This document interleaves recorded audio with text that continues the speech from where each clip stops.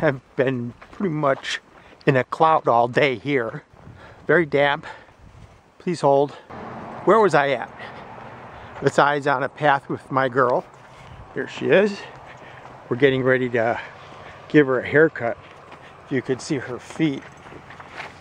I did her feet the other day.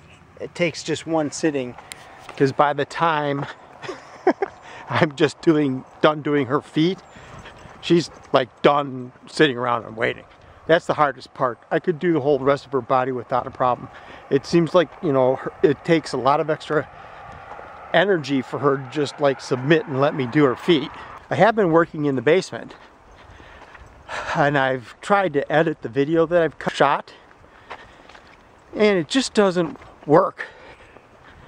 So I'm gonna talk about that. I have lots of talky bits that I shot about and no Dewey bits. That's why I'm, I'm uh, making just one concise uh, video about these, th these three things. This first one I've constructed cubbies similar to like what I have up in the master bedroom. And the crazy thing is, is that these are two feet deep. So this would hold a row of t-shirts and a row of t-shirts behind. I mean, this is like a heavy duty cargo space. This would hold a lot of clothing. You know, sweaters, bulky sweaters, uh, a lot of material would go here. And then I left the top open for uh, larger storage. In here, this is for shirts, hanging shirts across, and then I have the upper upper section for I don't know what. Maybe I'll get some of the baskets and I'll put a couple baskets in there. So you can pull the baskets in and out. And last but not least, this is long hang. And the idea is to have space underneath for shoes.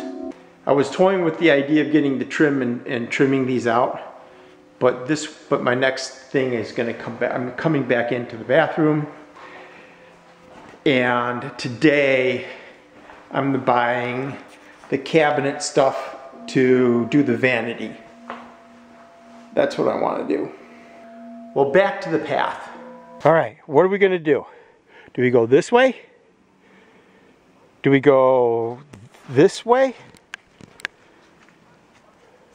You want to go that way? Oh, you want to go home.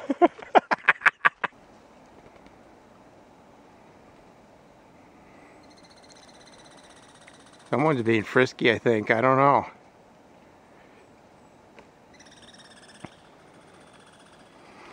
It runs and jumps over to the stump and then it squeaks and then the other one followed behind. We're almost at the end of the walk and I want to say thank you for watching the video. I'm sorry I didn't have more but you know I sometimes struggle with making videos now. Uh, nice talk with you. Have a nice day and I'll see you in the next one.